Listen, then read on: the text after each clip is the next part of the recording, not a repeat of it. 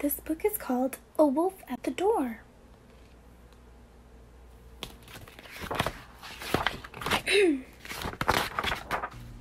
One quiet afternoon, while Father Bear was in the yard chopping wood, Little Bear sat reading his favorite book.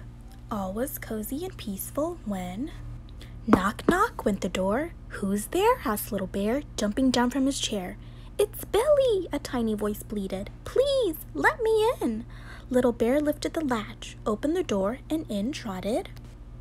Little Billy Goat Gruff. Lock the door quickly, bleated Billy. A wolf is after me. And he shouted, Come out, come out, wherever you are. I saw him up on the mountain, the little goat whimpered. I saw his long black shadow. He looked lean and mean, so I ran and ran until I got to your door. Little Bear sat Billy down.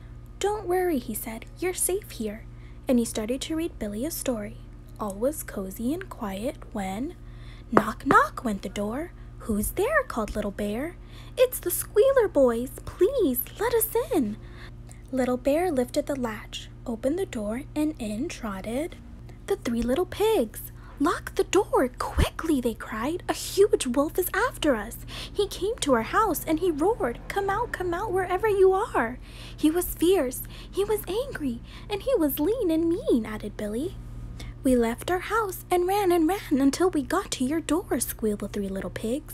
Little Bear let them in and locked the door.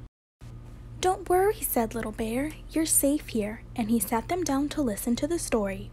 All was quiet and calm when, knock, knock, went the door. Who's there? called Little Bear. It's Bo, said a voice. Please, let me in. Little Bear lifted the latch, opened the door, and in rushed Little Bo Peep and all her sheep. Lock the door, cried Bo Peep. A wolf is after us. What happened? asked Little Bear as he locked the door quickly. Down in the field, panted Bo Peep. I heard the hedge rustle, and I saw his bushy tail, and he bellowed, Come out, come out, wherever you are. We ran for our lives, chorused the sheep, but he chased us. We could hear him panting. We could feel his hot wolfy breath. He was huge, bawled the sheep. And he was fierce and angry, piped the pigs. He was lean and mean, bleated Billy. And we didn't stop until we got to your door, finished Bo Peep. So Little Bear sat them all down and started to read his story, but he kept being interrupted by a knock knock at the door. First, there was Little Red Riding Hood then Cinderella, and finally Goldilocks. They had all come to hide from the wicked wolf. Don't worry, Little Bear told them. You are all safe here. Father Bear came in from the yard. Goodness, he gasped. What are all your friends doing here? They've escaped from a terrible wolf, said Little Bear.